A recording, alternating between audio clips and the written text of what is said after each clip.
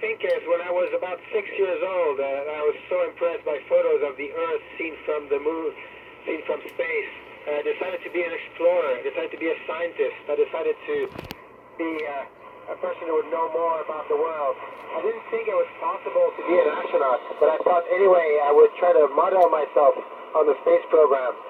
Go to university, stay athletic, take care of yourself, and become a reliable person who can make decisions. Over.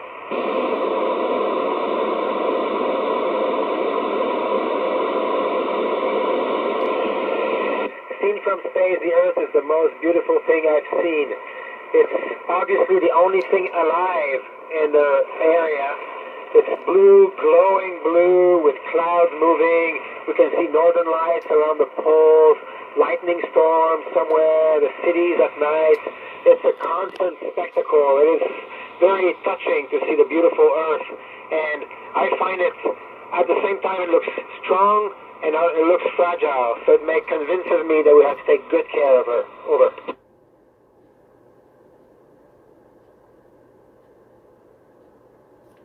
So in space we float because we are in free fall. The space station is going around the world like a satellite, a bit like the moon around the Earth. It is going forward so fast that it falls along the curve of the Earth. And we are inside it, falling at the same speed. So to us it looks like we're floating, but really we are falling. We're all falling together, but we're going forward so fast that the curve of our fall matches the curve of the Earth. And that's what means to be on orbit. Over.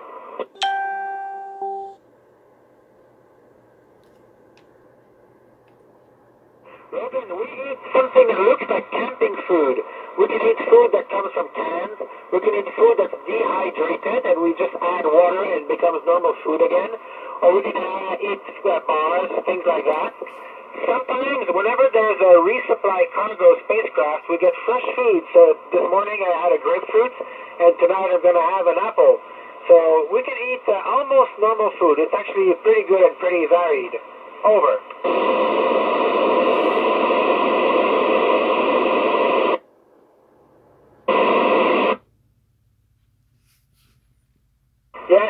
Actually I have experienced space sickness in the very beginning because it takes to your mind and body a while to adapt to the fact that there's no up or down. So it's a bit like being car sick or air sick.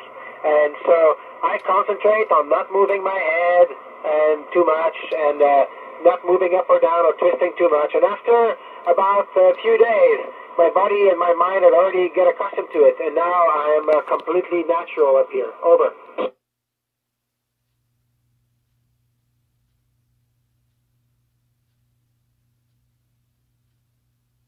Hey Maya, we do a lot of experiments on uh, many different uh, subjects of science, like engineering, material science, technologies, astrophysics, but mostly about medicine. We do most of our experiments on ourselves. We like guinea pigs for experiments, and on uh, uh, remote medicine uh, technologies. How can doctors help us here from far away? And there, all these inventions can be helpful to people on the ground. For example, people who live in faraway regions. Over.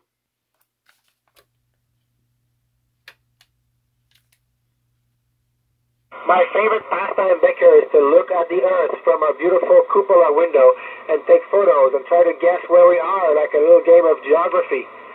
And also, I can uh, talk to my uh, family on the phone, uh, and I can uh, read books or maybe watch movies. But by far, what I prefer is look out the window. Over.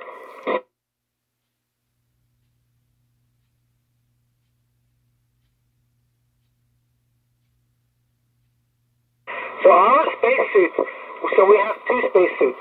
First spacesuit we wear to inside the rocket, the Soyuz rocket. So I only wear that when I go up and when I come down.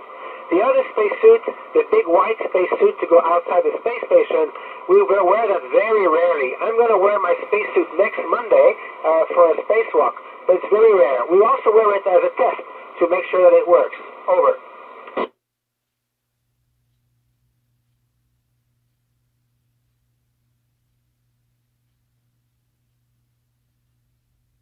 So we have to study many different languages. Everybody on board the space station has to speak at a minimum English,